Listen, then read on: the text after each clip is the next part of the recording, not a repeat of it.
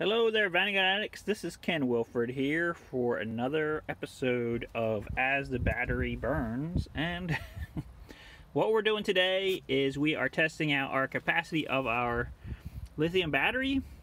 Um, I could have did this a bunch of different ways, but I had this crazy idea to basically just hook the 12 volt refrigerator, the Dometic refrigerator, um, 12 volt hookup to the battery um, and see what happens. So before people get all panicked and everything, there is a fuse which is over there in that thing. Okay, uh, so don't get all hyper about that. But uh, what's happening here? We have our 12 volt power coming over, and then I've actually just, you know, unplugged the 12 volt refrigerator power, which was on this thing of the relay, if you want to know about that. It is actually this wire right here. And now we're feeding our 12 volt um, refrigerator. How you can tell that is happening is this light is on. Okay, so we've got it set to battery deals. I don't really think this does anything, your temperature, because basically it's just either on or it's not on. Okay, so back there, if you've ever take one of these refrigerators apart, uh, first of all, God bless you, my child. Okay, sign of the cross, because it's not for the faint of heart. But if you ever take one of these apart, you will notice there are these two things right back in the back here that come down next to what looks like a smokestack. Uh, and what they are is they are two heating elements that look pretty much identical except one of them is 110 and the other one is 12 volts. And so when you plug in your fridge, um, you will be on 110. You can you have to turn this switch to this location, 110, and then that heating element turns on, heats up the uh, refrigerant, which actually cools the inside of the fridge. And uh, the 110 part of it works great, usually cools down really well. Um, the other element is 12 volts normally.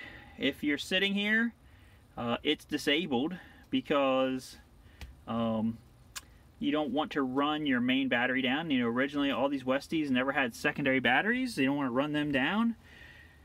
Um, even if you're running a secondary battery, most people do not try to run this because uh, I looked it up. It is actually pulling 7 amps of power. Okay, so uh, you can do the math. We have a, a 50 amp hour battery here um, with our little probably not trustworthy meter on it. um, and it, if we're doing 7 amps per hour, it's going to run the battery down in about 7.7 something hours. So I'm starting to clock, guys.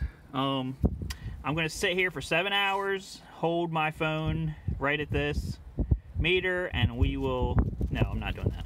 So, sorry, you got excited. Uh, I'm going to start the clock. I'm going to let this thing stay here for seven hours. I'm going to come back out and see what's going on. And maybe I'll do a little video then and kind of see how the battery holds up. I mean, my main thing is drawing this battery down. Um, and then we are going to see how fast it can be recharged with the car with running the alternator and then we are also most likely going to try to also see how fast it can be recharged with the solar. Um, I mean I have ideas about both of these but I want to see how it actually works in real life. So that's basically what's happening. Um, right now of course we're not getting any solar charge whatsoever because we're back in February mode here. At again, We have very overcast clouds and it's trying to rain. So, you know, maybe not get any sun for the next three or four days. So we'll probably do our car test tomorrow. And then uh, after that, we are going to do a solar test and see how that works out. That's pretty much it. So I hope you guys enjoyed this video. Again, we're still on our little learning thing with our lithium battery, our charger, all this good stuff. And I appreciate you guys coming along with us. Please like, subscribe, share. Um, and again, as always, uh, at the end of the video, you're going to see two links you can use to check out other videos and also purchase things from our web store because that is how you support us. So thank you guys for uh, being here today. Hope you get more smiles per gallon. We'll see you on the next video.